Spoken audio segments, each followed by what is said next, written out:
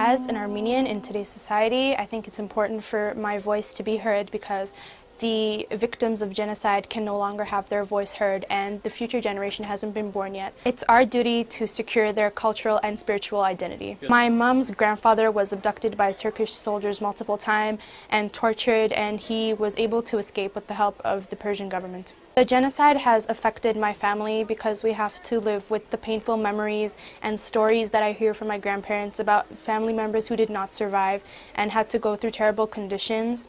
The way we persevere and stay strong is keeping hope that our work has not been in vain, that the genocide will be accepted, and just by keeping the culture alive because as long as Armenians are alive and aware of their cultural identity, we can um, continue to prosper as a race.